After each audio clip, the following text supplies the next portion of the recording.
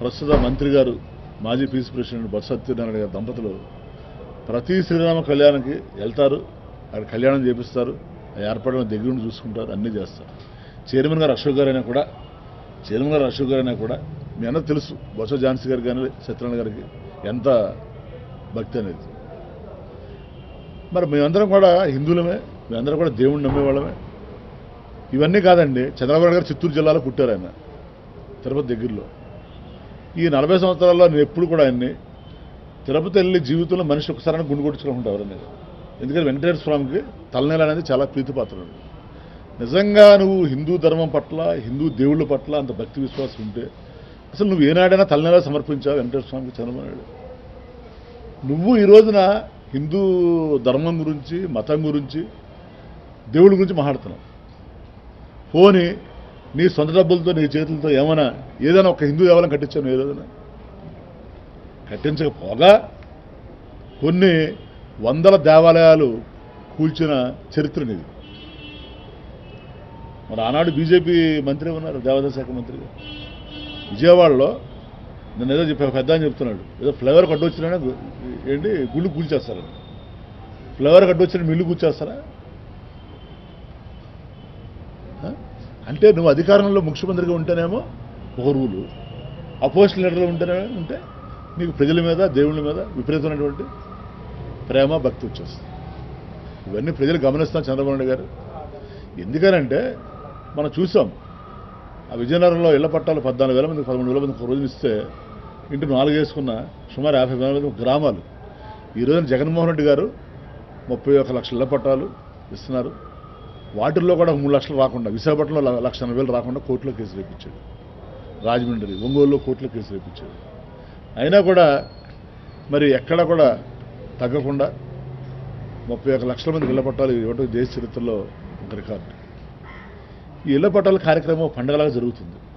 మొన్న ముక్కోటి ఏకాదశి రోజున మన క్రిస్మస్ రోజున ఈ పండుగను ప్రారంభించి మరి ఏడో తారీఖు వరకు అర్హత ఉన్నటువంటి ప్రతి పేదవాడికి కూడా దానిలో నాకు తెలిసిన వరకు వైఎస్ఆర్సీపీ చెందినటువంటి వాళ్ళు నలభై పర్సెంట్ ఉంటారు. ఒక నలభై పర్సెంట్ తెలుగుదేశం వాళ్ళు ఉంటారు. ఒక ఇరవై పర్సెంట్ మిగిలిన పార్టీలు ఉంటారు. అంటే అరవై శాతం మంది మీ ఇచ్చిన లబ్ధిదారులు వేరే పార్టీ వాళ్ళు. మా పార్టీ వాళ్ళు కాదు. అయినా కూడా ఎక్కడా కూడా మంచి పేరు రాకూడదు జగన్మోహన్ రెడ్డి గారు. ప్రభుత్వానికి మంచి పేరు రాకూడదు అనేది ఆయన దుర్బుద్ధి. మీరు చూశారు. గతంలో కూడా మనం ఇళ్ళ పట్టాలంటే ఏదో నాలుగు ఫోటోలు నాలుగు పట్టాలు ఇచ్చి ఫోటోలు దిగి బయటకు వచ్చేయడం జరిగింది. కానీ ఈ రోజున ఆ కాలనీలు ఎక్కడో నిర్మిస్తున్నాం. ఆ ఊళ్ళో ఎక్కడో నిర్మిస్తున్నాం. వాటికి కావాల్సిన రోడ్డు సదుపాయం కానీ మంచినీరు కానీ రోడ్లు కానీ డ్రైన్స్ కానీ కరెంటు కానీ అన్ని ఫెసిలిటీస్ కూడా గవర్నమెంటే చేస్తుంది. మరి ఈ రకంగా అంటే ఒక దీనివల్ల ఏంటి? రాష్ట్ర సంపద కూడా అభివృద్ధి చెందుతుంది.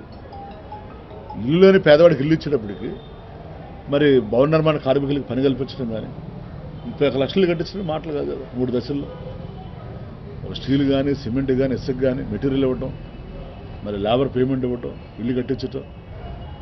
అంటే విశాఖను రాజధానిగా అభివృద్ధి చేస్తాం మూడు ప్రాంతాలు అభివృద్ధి చేస్తాం అమరావతి అభివృద్ధి చేస్తాం కర్నూలు అభివృద్ధి చేస్తాం అంటే అభివృద్ధి కాకూడదు.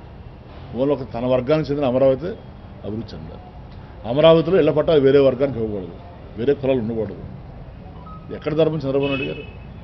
ఆయన ఇంకేమనుకుంటున్నాడంటే ఇంకా నేను ముఖ్యమంత్రి అనుకుంటున్నాడు. ఆయన. ఆయన ఇష్ట ప్రకారం జరుగుతుంది అనుకుంటున్నాడు.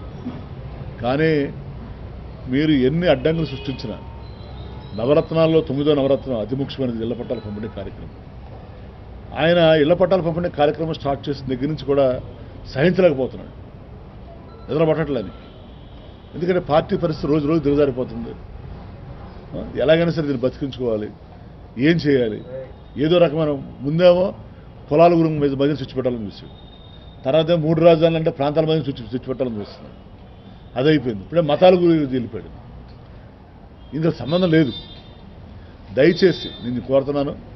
జనసేన సోదరులు కానీ బీజేపీ సోదరులు కానీ మీకు హిందూ మత పట్ల హిందూ దేవుళ్ళ పట్ల ఎంత భక్తి విశ్వాసం ఉన్నాయో మాకు కూడా అంతే ఉన్నాయి. ఇంకా కొంచెం ఎక్కువ కూడా ఉన్నాయి మాకు. దయచేసి తప్పనిసరిగా మనం ఎవరు రాజకీయాలు చేసుకుందాం? ఈ ఆంధ్రప్రదేశ్ రాష్ట్ర ప్రజలు ఎప్పుడు కూడా కులం మతాన్ని అభివృద్ధి బేస్ చేసుకుని రాజకీయాలు చేసేవాళ్ళు కాదు. అభివృద్ధిని కోరుకునే శాంతి కాముకులు. ప్రజలు చాలా మంచివాళ్ళు.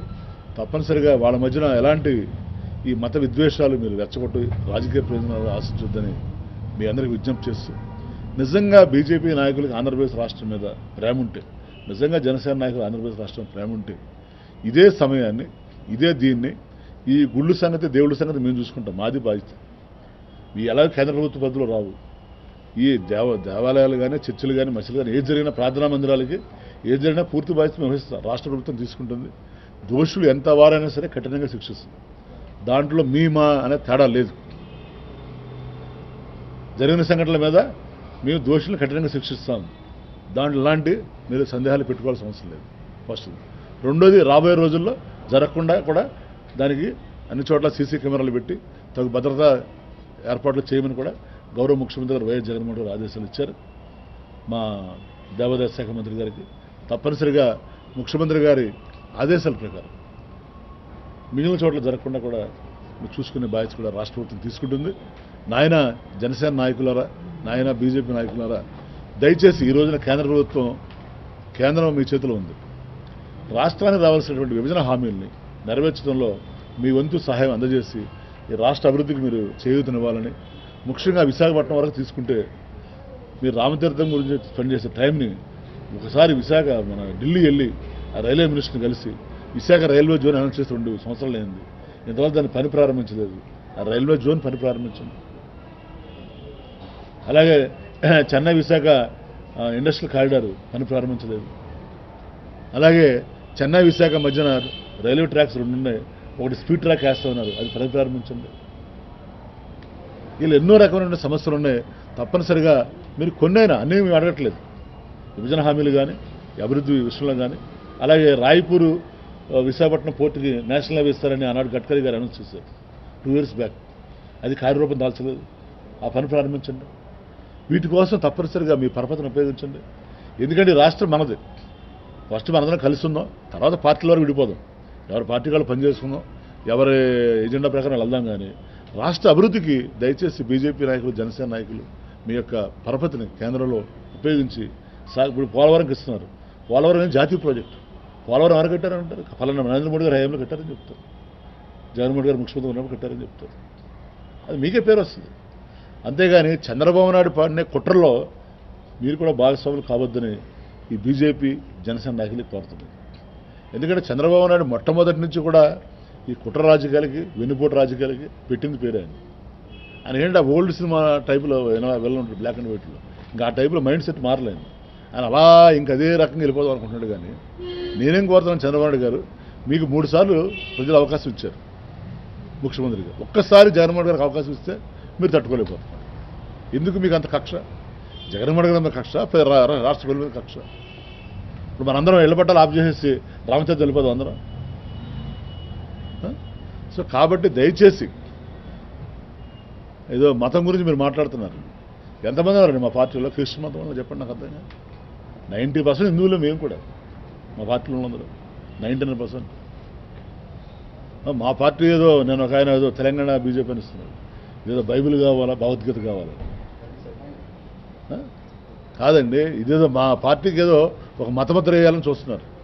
అది కరెక్ట్ కాదు.